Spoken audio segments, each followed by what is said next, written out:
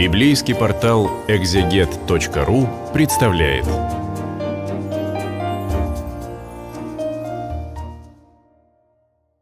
Сорок четвертый псалом для библейского портала «Экзегет» читаю в переводе российского библейского общества.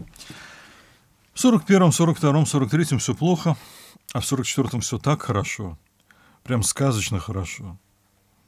Что здесь? Э, какая-то вставка ну да, вставка. Псалмы, я все время это подчеркиваю, они в развитии, в динамике даны. Это не просто случайно россыпь монет из кошелька, вот какая куда легла, так она и сохранилась. Да? Вот здесь такие, здесь веселые, здесь грустные, здесь победные, здесь э, псалмы с просьбой о помощи, здесь там хвала, здесь просьба, здесь еще что-нибудь. Нет, здесь э, есть внутренняя динамика развития. И вот э, 43-й псалом, он э, завершается вот таким утверждением, что, Господи, Ты от нас отвернулся. Ну, мы вот в полном недоумении. Он довольно резко упрекает Бога, этот псалом, что тоже нормально, потому что псалтирь — честная книга. Вот самое главное свойство — она честная. А Боге там говорится вот так, как человек чувствует. И в ней есть очень разные состояния, ситуации, очень разные слова о Боге, в том числе резкие, да, в 43-м есть резкий упрек Богу. Ни, за что уступил свой народ, за бесценок продал его. А вот в 44-м э, все просто прекрасно. И э, у псалма под заголовок «Начальнику хора, напев Шушаним», э, есть пара псалмов с таким же э, заглавием. Это, видимо, какая-то мелодия, и э, традиционно это переводит как «лилии», полевые лилии, то есть красивые цветы. Ну вот уже сразу настрой такой праздничный, радостный. А псалом сынов Короха, вот как и предыдущие, э, это, собственно говоря, одна из групп священников, или левитов точнее, Песня искусная, песня любовная. Ух ты, любовная лирика. Необычно. У нас есть э, целая песня песни в Библии, да, которая есть любовная лирика, но ее там понимают часто иносказательно, но изначально это песня о любви юноши и девушки, да. А, и здесь э, что-то очень похожее. Вообще-то, э, сразу скажу, этот псалом понимается как свадебный. Э, этот псалом на бракосочетание царя – вот как и песнь песни, формально это такая какая-то очень большая свадебная песнь, где говорится о любви и завершается соединением двух влюбленных. А, но здесь э, скорее придворная, церемониальная сторона свадьбы, да, то есть вот как это выглядит. Давайте прочитаем, потом к этому еще вернемся, к объяснению. Слово возвышенное из сердца рвется. Вслух читаю я творение свое о царе. Мой язык, как перо писца искусного. Такое как бы краткое предисловие от автора, да, вот, э, и он так о себе тоже не очень скромно говорит. Мой язык, как перо писца искусного. Ну, а дальше, собственно, текст. Ты, прекраснейший из людей, уста твои, благодать и источник, так навек благословил тебя Бог. Повяжи свой меч у бедра, возвеличься силой и славой, да будет успешен твой путь. Скачи вперед во имя правды, смирения и справедливости. Пусть подвиги свершит твоя рука. Стрелы твои остры, народы у ног твоих, пали духом враги царя. Твой престол, как престол Божий, стоит во веки веков, жезл свой царский, справедливости жезл. Ты любишь правду, ты ненавидишь зло. За это Бог, твой Бог, елеем радости помазал тебя, как никого из тех, кто рядом с тобой. Одеяния твои благоухают мирры, алоэ и кассии. Это благовония разные. В чертогах слоновой кости веселят себя арфы. Дочери царей в почетной свете твоей стали по правую руку твою царица в золоте из Афира. Далекая страна, где славилась Сана своим золотом.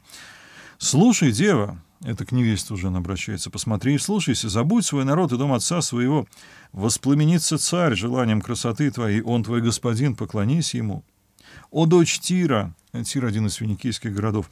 «Богатейшие из народа с дарами будут милости твои искать. Величава дочь царская в покоях своих. Одеяние ее золотом украшено.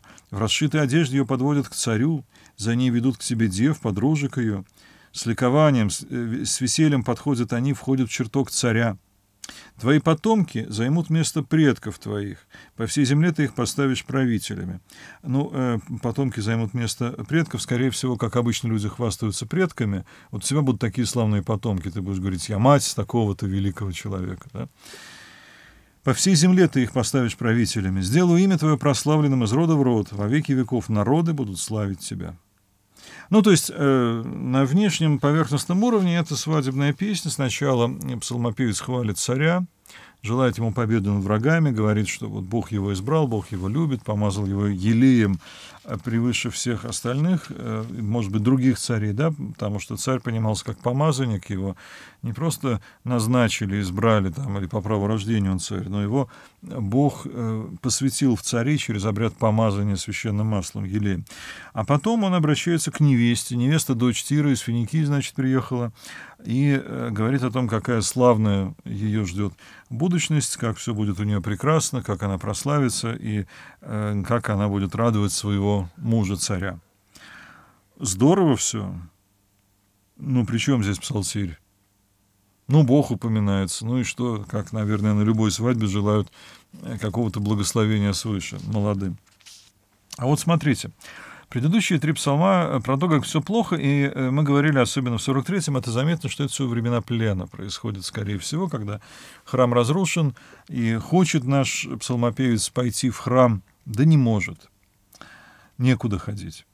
А в 44-м э, царская власть, как в начале псалтири, да, один из царских псалмов, э, царская власть — это одновременно и символ такого праведного предстояния Богу, да, то есть э, не каждый человек царь, но царь Э, образ каждого человека, да, он э, вот самый главный из людей в данном народе, в народе Божьем. И, соответственно, вот то, что он э, скачет вперед во имя правды, смирения, справедливости, совершает подвиги, это такой архетип, к которому мы все так или иначе возвращаемся. Так вот, смотрите, 43-й такой печальный, депрессивный, все, ты нас бросил, ты нас забыл.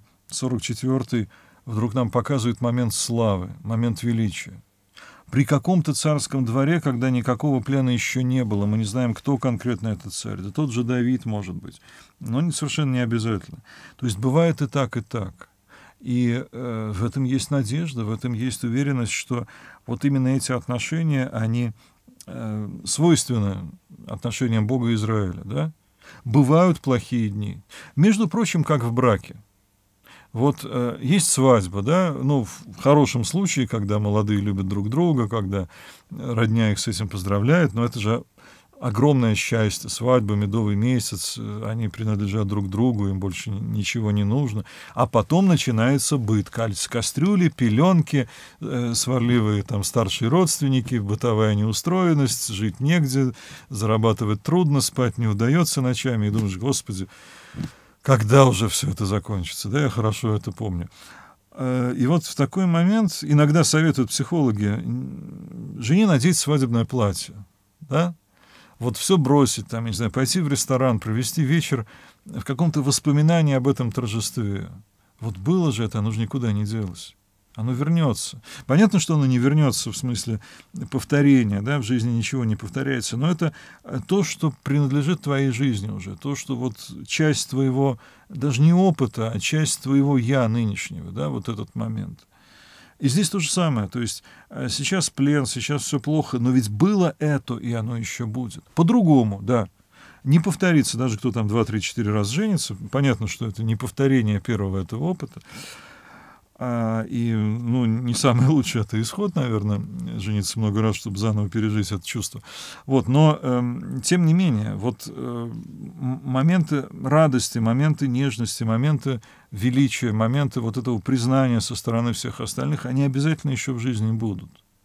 И можно э, в каком-то смысле питаться вот не памятью о том, что да, когда-то было все хорошо, а сейчас все очень плохо, но скорее э, переживанием того, что это тоже часть тебя, да, вот э, эти моменты славы, величия, победы, э, это надежда, которая была дана и которая во многом сбылась. И я думаю, что вот как раз э, этот псалом не случайно встал сюда, он, наверное, довольно древний.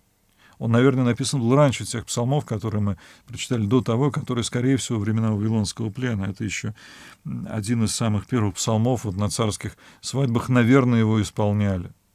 Но он все равно сюда встал. Вот э, ты унываешь, ты думаешь, как все плохо, вспомни дни славы, они неизбежно вернутся. Ты просто пока не знаешь как. Ну и 45-й будет комментарием вот к этому столкновению 43 и 44 псалма.